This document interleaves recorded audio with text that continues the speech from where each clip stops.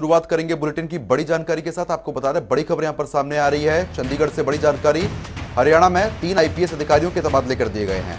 हरियाणा सरकार ने तबादला आदेश जारी कर दिया है तो बड़ी जानकारी है, तीन आईपीएस अधिकारियों के तबादले यहाँ पर किए गए हैं। सरकार की तरफ़ से आदेश जारी हो गए हैं।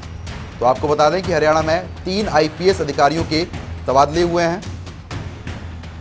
हरियाणा सरकार ने तबादले के आदेश जो हैं वो यहाँ पर जारी कर दिए हैं। बड़ी जानकारी से आपको रूबरू करा रहे हैं। हरियाणा में तीन आईपीएस अधिकारियों के तबादले हुए हैं। आपको बता दें कि हरियाणा सरकार ने तबादले के आदेश यहाँ पर जारी कर दिए हैं। इसके बाद प्रशासनिक अमले में भी हड़कंप मच गया है। तो तीन आईपीएस अधिकारियों के तबादले यहाँ पर किए गए हैं। बड़ी जानकारी आपको चंडीगढ़ से पहुँचा रहे हैं। तीन आईपीएस अधिकारियों के तबादले किए गए हैं। सरकार की तरफ़ से ये आदेश भी जारी कर दिए हैं। आप अपनी स्क्रीन पर